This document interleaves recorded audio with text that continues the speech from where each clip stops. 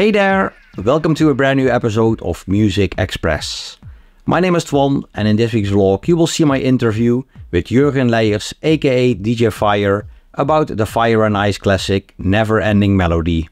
But before we start with the interview, please make sure to subscribe to my channel, and very important, also make sure to click the bell button, because then you will get a notification the next time a new vlog is online. Alright, here it is the story behind Never Ending Melody by Fire and Ice, my interview with Jurgen Leyers, aka DJ Fire. Enjoy! Fire and Ice is a project from Belgium-based duo Jurgen Leyers, aka DJ Fire, and Laurent Véronnez, aka Airwave. In my previous interview with Jurgen, we already spoke about the Fire and Ice debut track Lost Emotions. But for this week's vlog, I did ask him about the story behind Never Ending Melody, a beautiful trance track which came out in the year 1999. My first question to Jurgen was if they were inspired by something when they started to work on Never Ending Melody. Like with most uh, Fire and Ice tracks, uh, usually we listen to a lot of uh, productions made in the in the in the period we produced the track, and we compare things we like in the tracks, and then we try to make it our our own, like using elements and using builds and using uh, structures. Um, Laurent has a good a good ear. He plays like a new melody. He asks me, "Do you like it? What do you want to change about it?" And that way we create something new. And with Never Ending Melody, I think uh, Ferry's productions were the inspiration. Yeah, yeah, yeah. there's some slight similar similarities as uh, yeah. Gouryella. Yeah. yeah. true, Gouryella, and I think. Uh, maybe another one, but I'm not sure which one it was. Uh, another Dutch production. Not sure about that anymore, but yeah, yeah. Especially the Ferry Corsten productions. Yeah. So did you guys usually start like with the melody first? Um, yeah, yeah. Usually there was like the lead melody, change some things about it, and then build a build a track from uh, from the start, build to the, the melody to the break, and then uh, yeah, go on from there. But usually it was. Uh, a basic idea, the melody in the break. Yeah, yeah, yeah, yeah. Um, yeah. So, what else can you tell us about uh, the production process from the track? Um, back then, I think uh, Laurent was using a lot of Logic back then. I think Logic 4. I we used Ableton Live later on, but back then it was Logic 4. A lot of MIDI, not a lot of uh, audio yet. I think uh, keyboards was pretty much the same as in the beginning. Uh, still the Access Virus, which was really big among trance producers. All the big names used that for uh, for their trance productions, like uh, like Mike and like uh, like Armin. They all yeah. always always use the Access Virus. Mm -hmm. um, maybe some uh, all the Korg material as well. still a lot of yeah Roland keyboards.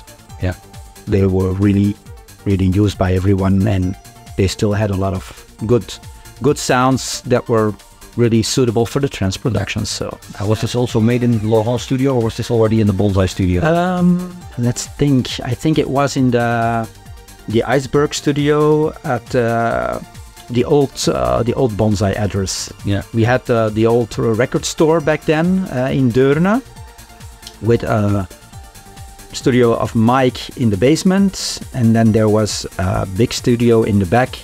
And this was uh, used by Santini first, I think Santini with uh, Greg DeWind.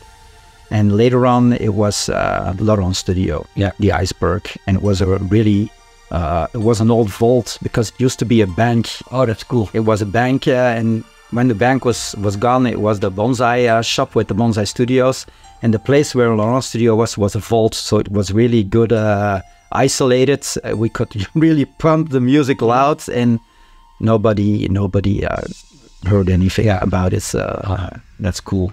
So how long did it take you guys to finish this track?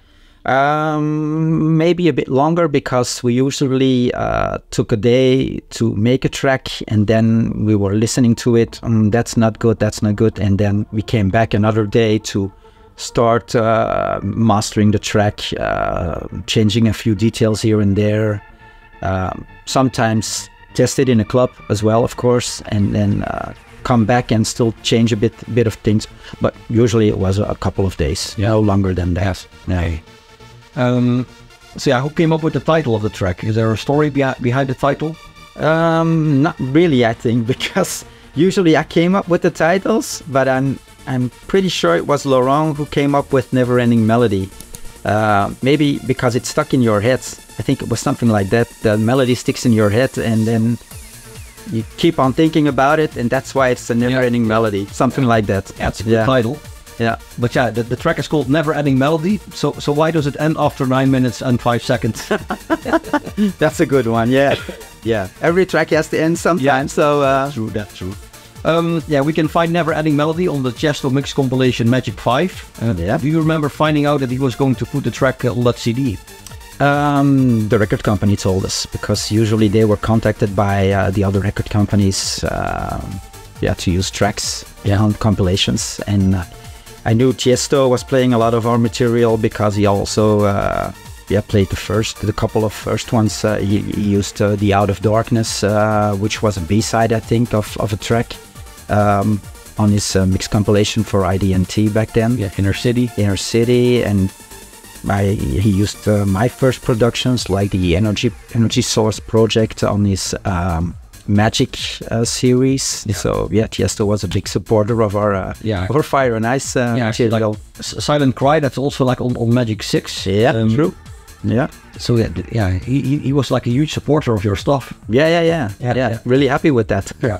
I, I guess that gave the sales a huge boost as well. Yeah, and it, uh, it yeah, it, it pushed our name in the in the other countries as well because yeah, otherwise we might have been big in Belgium and Holland, but guys like Tiesto and Armin they pushed our material worldwide, and yeah, Yeah. it's still funny to see how back then without YouTube, without Facebook, without Instagram, a lot of people knew our name back to South America, Yeah. to Australia. Uh, yeah, Yeah, this was a bit like in the start of the internet, and I know that I remember it was like internet forums, but yeah, Yeah. no social media. So no, no, no, yeah, yeah, no, it's a different time. So yeah, uh, you and Laurent started the Fire and Ice project 25 years ago, uh, and there have been plenty of great releases from you guys during the years. Uh, but I was wondering which of the Fire and Ice tracks is your own personal favorite? Um, my own personal favorite, I think, is Silent Cry because it's a really emotional break, and uh, listening to it really takes me back to that time Yeah, yeah, and takes me back to yeah, might be a bit, bit nostalgic, but uh, the the the high the high days of of trance and the clubs in Belgium and Holland. yeah. Fortunately enough, there's not that much anymore. Yeah, you have the festivals, but the, the club scene is not really the same anymore. Yeah, that yeah. Um, but I guess also the Fire and Ice track Out of Darkness is also extra special for you.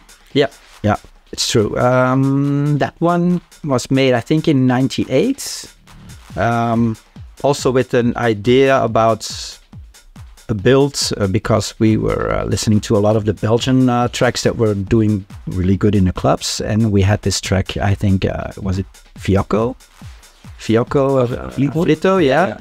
But um, we weren't going to use the the breakdown in the in the melody, so we had like the, the kick is good. We're going to use the kick, and we're going to build from that.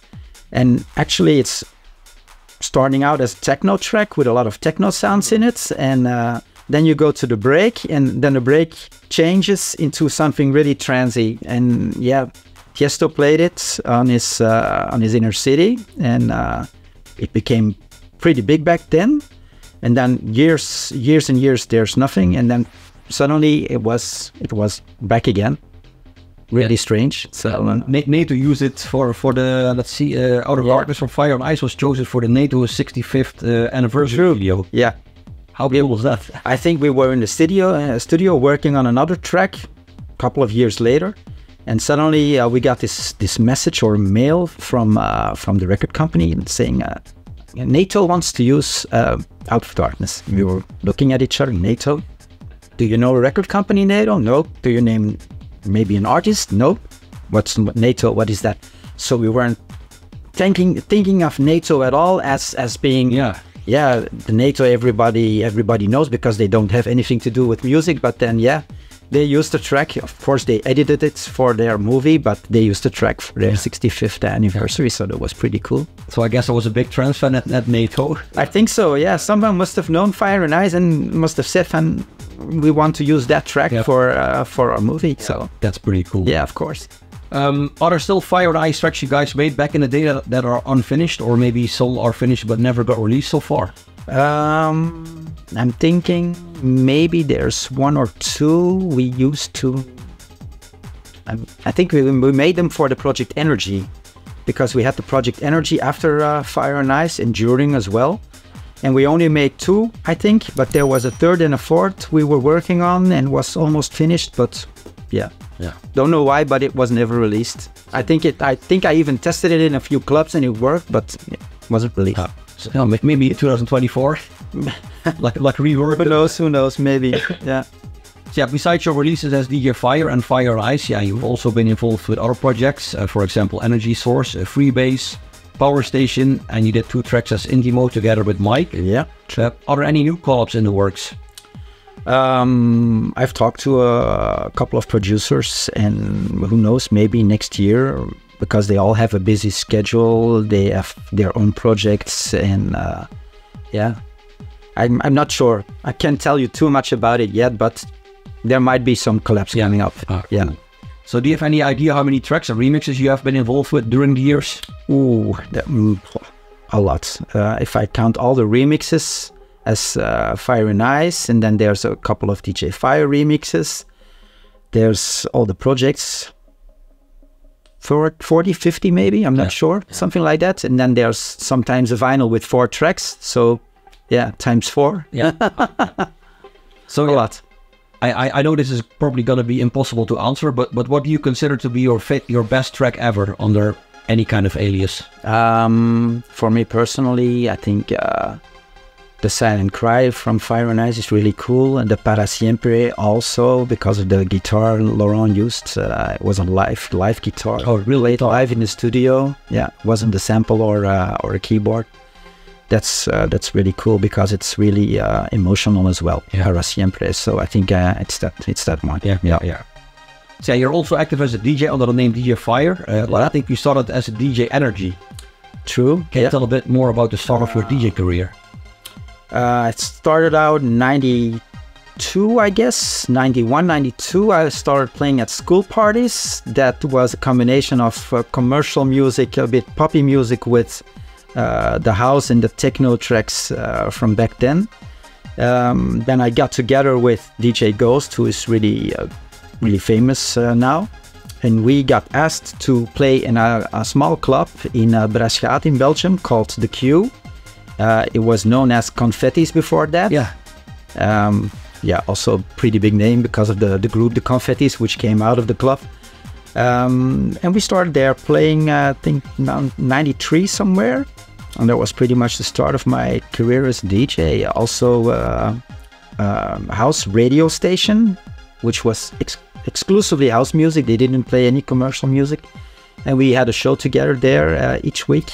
And uh, yeah, started from there. Bookings in smaller clubs, then bigger clubs, then festivals. Then, then thanks to the musical projects and uh, the record company, I also got to play abroad. So uh, yeah, it really it pretty much went naturally from there. Yeah, yeah. Yeah. Yeah, Belgium is very famous for all its legendary clubs. Uh, can you mention some of the clubs you did play for? Um, pretty much every club, I think, uh, from the more commercial clubs to the the big underground clubs like Extreme. I played as a guest at uh, Zillion, Illusion, La Rocca. Uh, yeah, too much to mention. Yeah, yeah. Actually, uh, same for Holland. I played a lot of Holland uh, clubs in Holland. Uh, some festivals like Mysteryland. Uh, um, yeah, I have a whole list. Yeah, It's somewhere, somewhere in the archives. in the archives. Yeah. Yeah, you also, yeah, you just mentioned it. You did also play at parties and in clubs in the Netherlands, but also in Norway, Finland, Malta, Scotland, Germany. Yeah.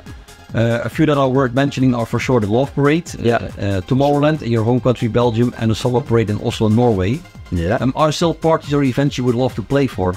Um, yeah, I, I'm still looking for some bookings at Ibiza Oh yeah, because I've never Never. played at Ibiza. I've been there, but I've never played there. Yeah.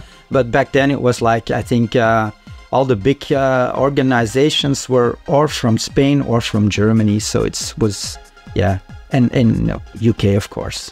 Yeah. So pretty much all the big, uh, yeah, clubs and the big um, concepts that were in Ibiza were from UK or from German organizations. So, So, so they were like focusing more on those kind of sounds, I guess. yeah, Yeah. yeah, yeah.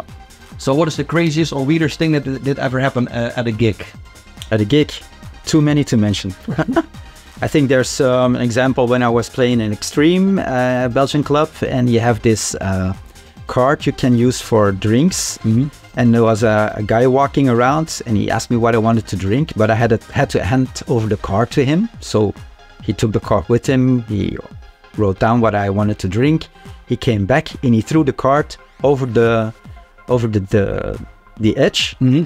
and it landed right in front of my vinyl and my needle started skipping Oh. and the club was like full with people and everybody was looking like what's happening here and that was the tum, tum, tum, tum, like that all the time and yeah it's it's not funny when Yeah. you're playing for a full club so and there's some other stories as well but that was one that came to, Yeah. that came to mind so yeah And, and lost records, like for example, you're at, you're at a, an event and then your records are still at the airport. Oh yeah, yeah, yeah. We uh, we also had that one uh, in Scotland. I played at a gig in uh, the north of the UK, and there was this um, this guy that booked us.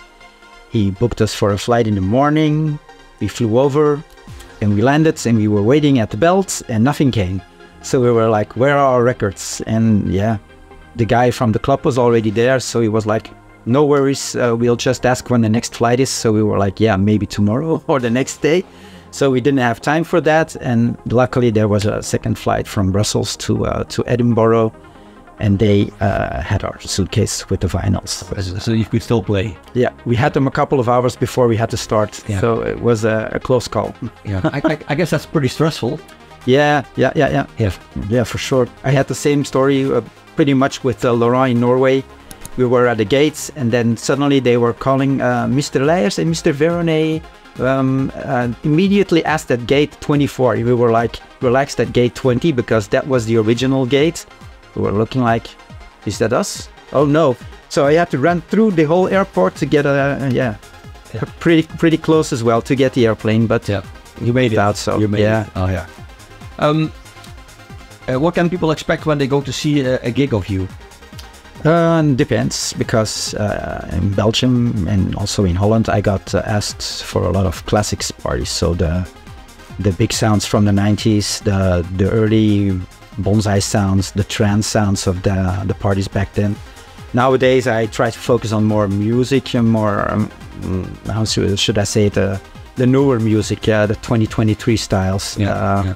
although it's pretty difficult to get uh, in between all the new names uh, because yeah, people know them for their productions they may now Mm-hmm. and uh, i think it's time to make a, a big new one Yeah, yeah, and that way they they book you for the new music yeah, yeah. Fingers crossed. Yeah So, wh- where do you see yourself in ten years from now? 10 years from now um, i think somewhere uh, at a yeah a quiet place relaxed not sure I'm, we'll be making music back then Yeah, not sure about that we'll see we'll see. Okay. Well, thanks all for your time and good luck with everything. thank you Alright, that was it. This week's vlog. The story behind the Fire and Ice classic Never Ending Melody. My interview with Jurgen Leyers, aka DJ Fire. Jurgen, thanks a lot for your time. Much appreciated. Thank you for watching. I hope you enjoyed the vlog. If you did, make sure to give this video a like, leave a comment in the comment section below, and very important, make sure to subscribe. Also make sure to click the bell button because then you will get a notification the next time a new vlog is online. And in case you missed it, I did another interview with Jurgen. That one is online already and that one he shares the story behind the Fire and Ice track Lost Emotions. And I did another interview with him and in that one he will tell the story behind Forever Young, another big classic by Fire and Ice. That interview will be online in a couple of weeks from now, so stay tuned. Once again, thanks for watching and until next time, bye bye.